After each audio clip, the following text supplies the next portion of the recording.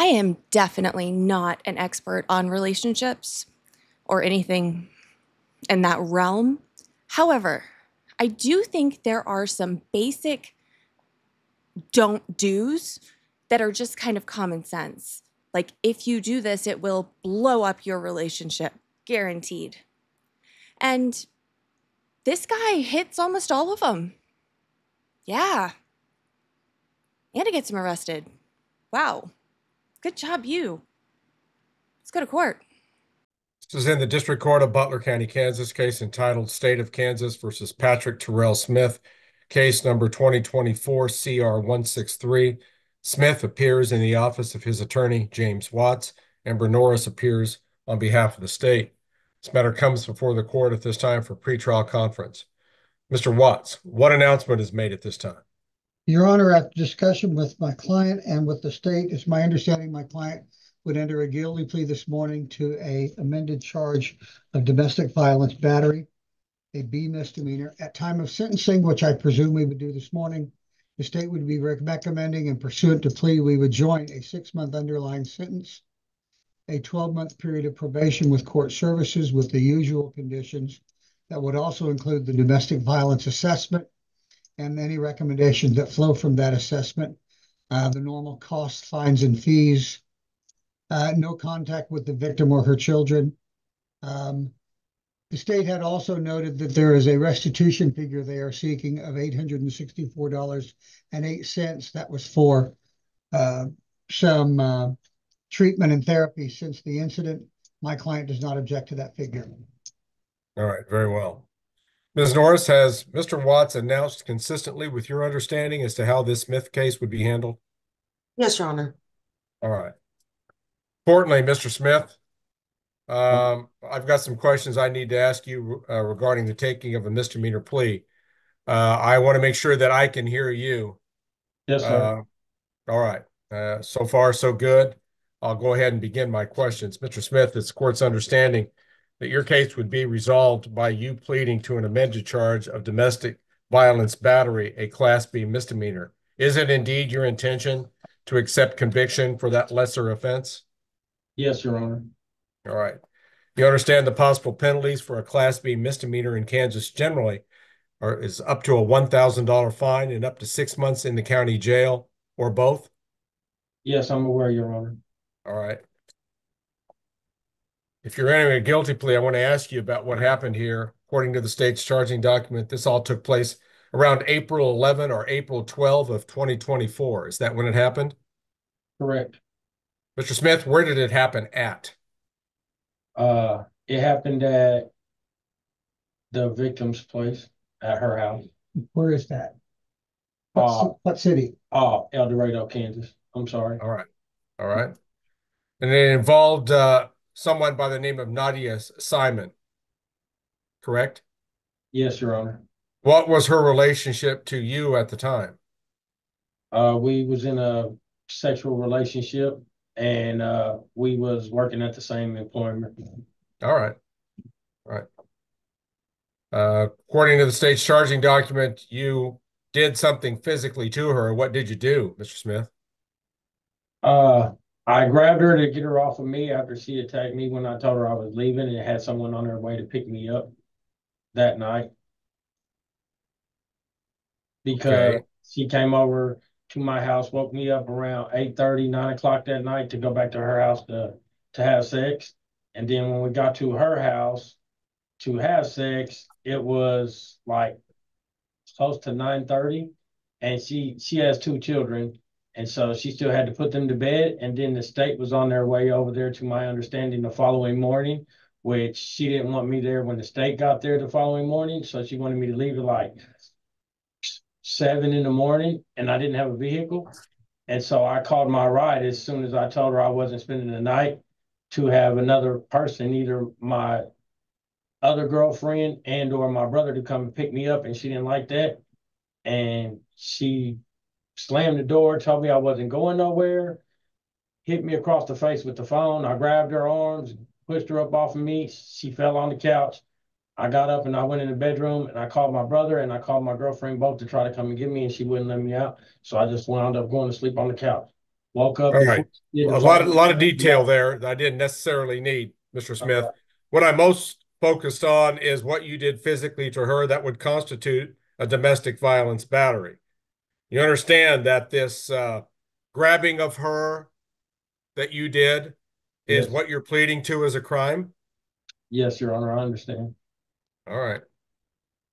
So do you now freely, knowingly, and voluntarily enter a plea of guilty and accept conviction for domestic battery, a Class B misdemeanor? Yes, Your Honor, I do. All right.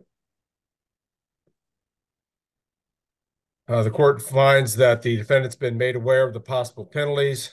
There's a factual basis for the uh, offense, and it's a free and voluntary act on the defendant's part. The court will accept the defendant's plea of guilty and find him conviction convicted of the lesser included offense pursuant to amendment of domestic battery, a Class B misdemeanor. Court will proceed to sentencing at this time. First, I'll ask for recommendations from the state regarding an appropriate sentence. Ms. Norris? Thank you, Your Honor. State would be recommending six months in the county jail, twelve months court services probation with all standard conditions. That the defendant complete the domestic violence offender assessment and follow through on any of those recommendations. State's not requesting a fine. Assess the standard costs and fees of the action. The court will need to address court-appointed attorney's fees and the BIDS application fee as Mr. Watts is appointed. Uh, there is restitution in the amount of eight hundred and sixty-four dollars and eight cents. Um, as that, uh, no drugs, no alcohol while on probation, uh, that he gain and maintain employment and no contact with, uh, the victim or her children. And that he report to court services, uh, probation today. All right. Thank you, Ms. Norris. Mr. Watts, your recommendations regarding an appropriate sentence for your client? Your Honor, pursuant to the plea agreement, we would join those recommendations. Thank you. How much are your fees in the representation of the client? This was billed to BIDS at a thousand dollars, Your Honor. All right, thank you, Mr. Watts. All right, Patrick Terrell Smith, at this time, the court will address you and I'll ask you if you have any statements that you wish to make in mitigation of punishment or anything further that you would like to present to the court. No, Your Honor, not this time. Oh, All right. Mr. Smith, I find it at least interesting that you come to court today wearing a shirt that, using a colloquial expression, would be called a wife beater shirt. Uh, I'll just generally let you know that uh, the court would expect that you wear a more uh, traditional shirt for court, something a little bit more business-like than this. I realize it's still warm outside here in October, and you probably meant no disrespect, but I do find it somewhat ironic that that was the choice of dress that you made this morning to come before the court to face a charge of aggravated domestic battery.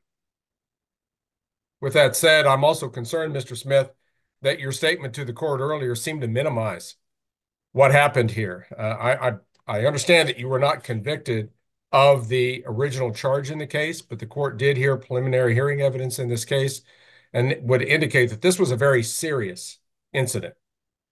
I certainly understand uh, the plea agreement in this case, and, and quite frankly, in all candor, the court intends to follow it.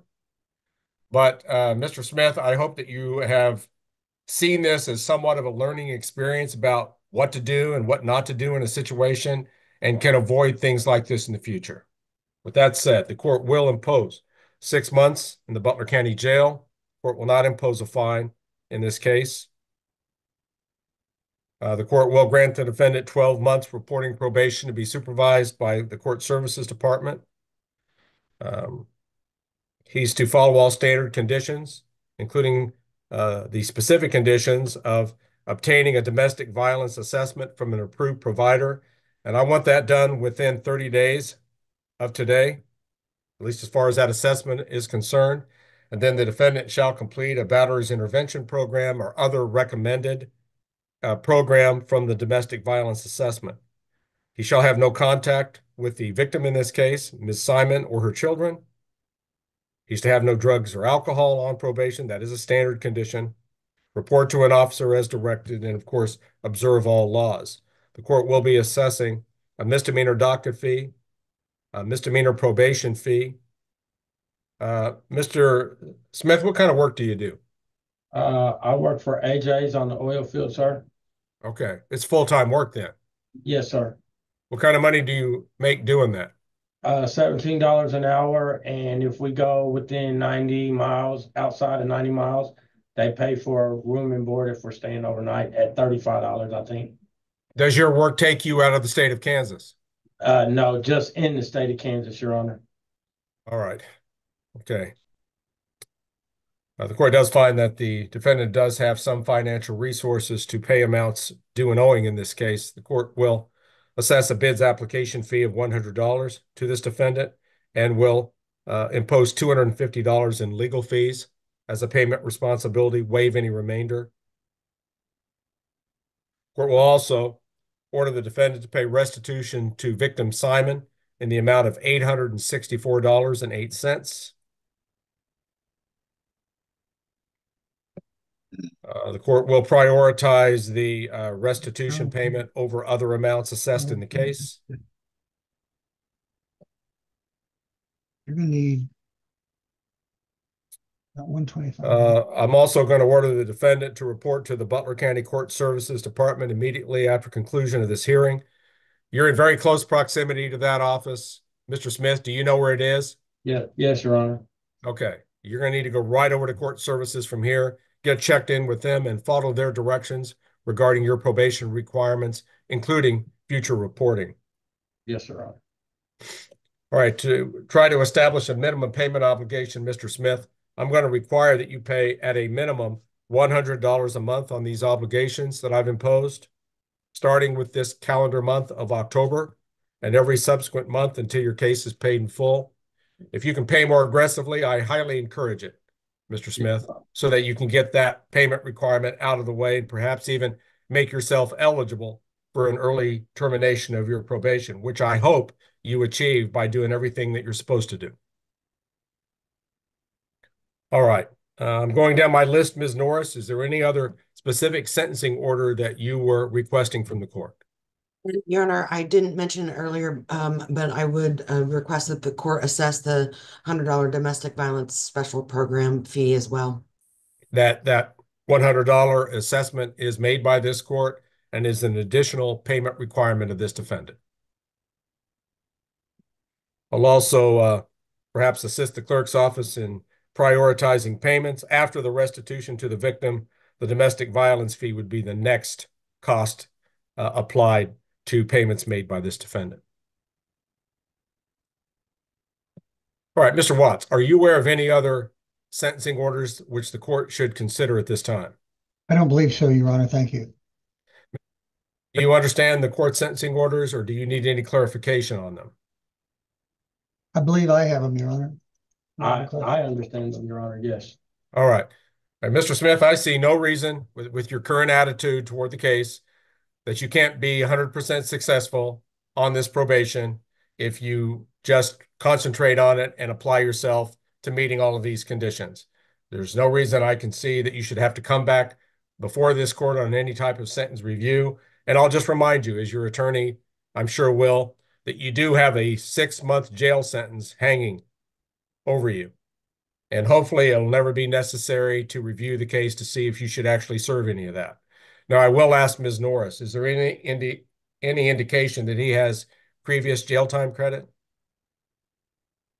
Your Honor, I, I don't believe so, but we'll certainly check and, and make sure that the uh,